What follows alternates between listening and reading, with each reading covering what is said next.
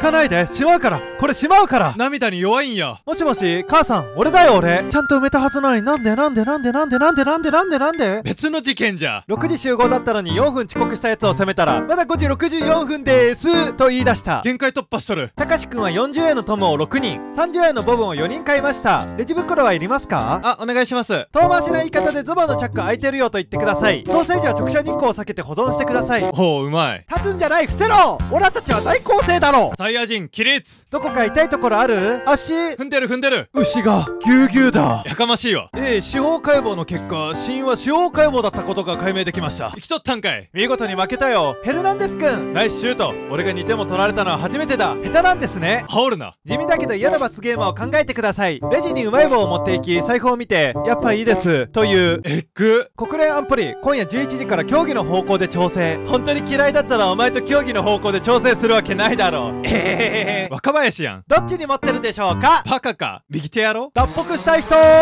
ーい。有名なセリフの前に「なんだ」をつけて適当な感じにしてください。なんだ？クリリンのことか。扱い雑。は？なんだそりゃ？でですから初めてのお客様にドモホルンリンクルをお売りすることはできません。はあね。お前ら少しは大統領を見習いよ。あのハンサムで頭が良くてスポーツマン飲んで。は？大統領いつからそこに？チラチラしいわ。例えばおへその綺麗な女性がいたとしますよね。おへそにゼラチンを流し込んでおへそゼリーを作って販売しますよね。これが起業です。天才か。他にもビッグライトで四国を大きくすればちょっとしたオーストラリアになるよ。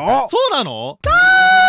チェンジ10回目で店長が来た。もののけの類やん。あれやってよあのネタ。検討します。落ちネタにすな。キスを頼む。マスノスケくん。えそんな。平さん。そっちじゃねえよ。富山を楽しむ。富山は楽しめません。はっきり言うな。お母さんなぜ出ないんだ。何が起きたって言うんだ。はいカット。切り替え早っ。あいこだった。何出しとんねん。じゃあ今日の試合はどうなるんですか？先生どうなんでしょう。うむ熱は下がったようですが。まあ簡単に言うと五輪中です。言ってんの？明日までに食べきれるかな？食いもんちゃうで。チーズ牛丼をチーズとご飯と牛肉と玉ねぎ抜きでお願いします。どんだけ？